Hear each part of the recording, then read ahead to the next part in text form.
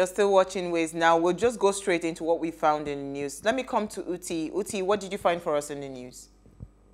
Okay, so excuse me.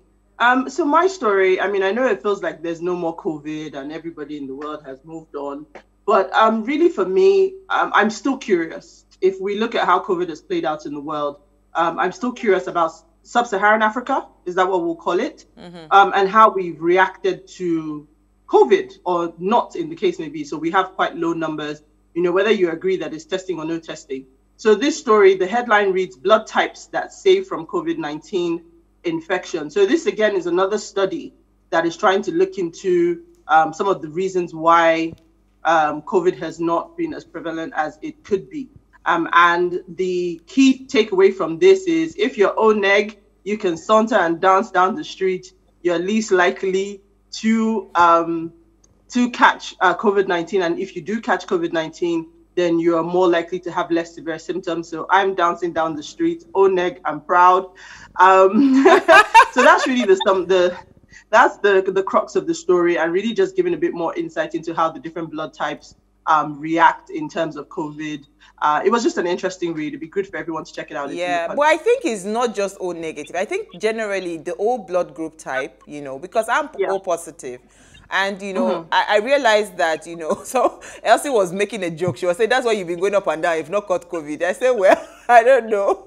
but, but I think, it is, right? I, I mean, think it's... ONEG, where the... Yeah uh, where the blood donors, where the universal donors, where everything. So it's good that we catch a break, right? Because we can give everybody blood. We can't get blood from anybody else but I think, so okay, I think I'm O negative because I know I'm a universal donor. So uh, that means I'm in the group as well. I'm in the same WhatsApp group. Uh, all right, you're, so you're O positive. So you still got that positive to count about. O uh, neg, we're not, there's nothing in the blood. We just donate. We're like, here, here's some blood. all right, so let me come to Maury. What did you find for us in the news? Okay, so today, like the last time I was on the show, I had um, quite interesting news. Today, my news is rather annoying and sad. The Nigerian police force has filed a suit in court to scrap the judicial panels of inquiry set up by the state governments to probe allegations of rights abuses and other acts of police brutality um, following the nationwide EndSARS protest. And to be very honest, it's the audacity for me, the the audacity to be able to um, sue the court um, like what exactly is is giving you so much um, confidence? And that's is is a rather annoying case and i'll just try to i would like to just you know wrap up and just talk quickly about it because it's really really heartbreaking. Mm for the Nigerian police force to be able to sue them, that means that there's there's somebody that they that's that's backing them. So this I feel like it's not even the complete story. The audacity, a country that does not have a system. But you know the, the funny thing the about the protest and all of the EndSARS thing, I thought injustice. It's just really really sad, heartbreaking, yeah. annoying, and everything frustrating in one. Um, I thought this the the the, the so, part so of the five for five I, demands. I just want to jump in there. Can I jump? Um, in? Okay, go ahead, Uti. So no, so I, I, you know, when Maury was saying there's more to the story. So I think the argument there, and I remember back to when um, the Lagos state government first talked about constituting these um, panels, right? Um, I believe it was the governor from Abia State who had said that those panels, according to the constitution, were had no power to investigate the police because it's only the federal government mm. that can investigate the activities of the police. So I believe it's that part of the constitution that the police is now petitioning the court to say, you know what, these panels can't fly because according to the constitution, they don't have the power to they do don't so. have the power to do so. Well, I, well, mm. I think we'll leave it there.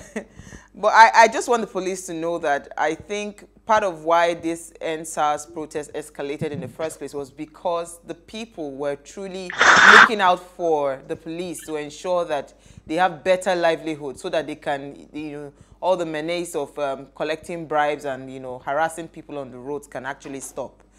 All right, so my story is actually quite an interesting one. Interpol warns that COVID-19 vaccine could be targeted by criminals. Um, so the Interpol Global Police uh, Coordination Agency has warned uh, on Wednesday that organized criminal networks could be targeting COVID-19 vaccine and could look to sell uh, fake shots. So this is very, very scary.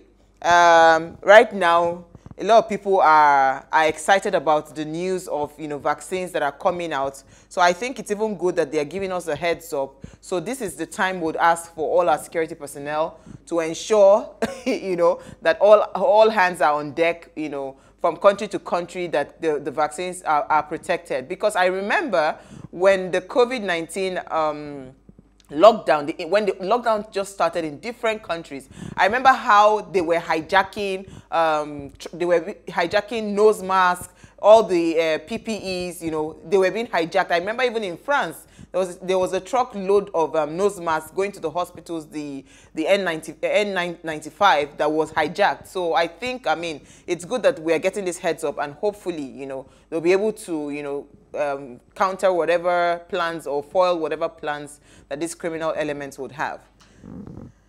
All right, so um, I think that's about it. When we come back from the break, we'll be discussing, um, today is International Day of, uh, for persons living with uh, disabilities. We'll see, celebrate someone that has been living with disabilities all her life and we'll, we'll celebrate with her. Stay with us, we'll be right back.